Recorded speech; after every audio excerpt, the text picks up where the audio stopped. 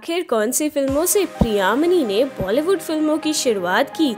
किस फ़िल्म के लिए उनको फ़िल्म फेयर अवार्ड भी मिला? और कौन कर रहा है अजय की माँ का किरदार इस फ़िल्म में? तो नमस्कार दोस्तों, मेरा नाम है श्रिया अरोरा। आप सभी का स्वागत है हमारे यूट्यूब चैनल बॉलीग्रास स्टूडियोज में। आज हम आपको बताने जा रहे हैं, फ़िल्म मैदान से रिलेटेड कुछ काफ़ी रोचक बातें। एक ही आइटम नंबर से सुर्खियों में आने वाली अभिनेत्री प्रियामनी आपको फ़िल्म मैदान में एक माँ का रोल प्ले करती नज़र आने वाली है। One two three four get on the dance floor Chennai Express जैसी सुपरहिट फ़िल्म का ये सुपरहिट आइटम सॉन्ग जिसे प्रियामनी ने बॉलीवुड में अपना कदम रखा और आते ही सबके दिलों को जीत लिया।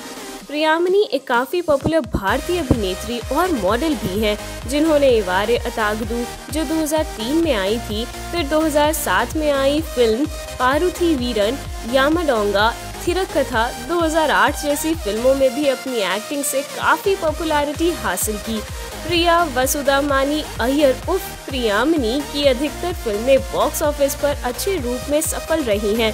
इसके चलते उनके पास फ़ेमस और अधिक फ़िल्मों के काफ़ी ऑफ़र भी आए। 2012 में आई थी फ़िल्म अलोन पर आधारित मल्टीलिंगुअल फ़िल्म चारुलथा में जुड़वा बच्चों के उनके इस किरदार को बहुत ही तारीफें मिली थी और फ़िल्म फेयर में तीसरा सर्वश्रेष्ठ एक्ट्रेस का खिताब भी इन्होंने अपने नाम कर लिया था। इनके अचीवमेंट्स की बात की जाए तो ये यही ख़त्म नहीं होती। 2015 और 2016 में लगातार दो साल तक बेस्ट सेलिब्रिटी जज के लिए एशिया विजन टेलीविज़न अवार्ड भी जीता था इन्होंने। 2008 की मलयालम फ़िल्म तिरकथा में मालविका के रूप में इनकी एक्टिंग के लिए इन्हें सर्वश्रेष्ठ एक्ट्रेस का फ़िल्म फेयर अवार्ड भी मिला था। प्रियामनी को हाल ही में अमेजोन प्राइम वीडियो की वेब सीरीज़ फैमिली मैन में मनोज बाजपेयी के साथ काम करते देखा गया था। प्रियामनी की पसंदीदा चीज़ों की बात की जाए तो इन्हें आइसक्रीम चिकन बिरयानी और चॉकलेट्स काफ़ी पसंद है।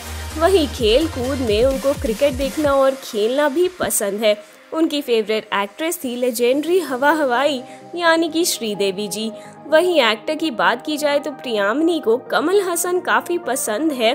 अब आपको बता दें 2021 में आ रही फ़िल्म मैदान में अजय देवगन के साथ स्क्रीन शेयर करेंगी प्रियामनी। देखते हैं इस फ़िल्म में क्या कमाल दिखाएँगी अभिनेत्री। तब तक के लिए आप हमें कमेंट करके ज़रूर बताइए कि आपको प्रियामनी की सबसे ज़बरदस्त एक्टिंग किस फ़िल्म में लगी और क्यों? और साथ ही साथ आप इस फ़िल्म के लिए कितने एक्साइटेड हैं, हमें भी कमेंट करके बताना ना भूलिएगा। और अगर आपको हमारी आज की वीडियो पसंद आई हो तो उसे लाइक और शेयर ज़रूर करें और हमारे चैनल पॉलीग्राफ स्टूडियोज़ को भी ज़रूर सब्सक्राइब करें। तो आज की स्क्रिप्ट राइटर है स्नेहा सिंह। बहुत बहुत शुक्रिया आप सबका।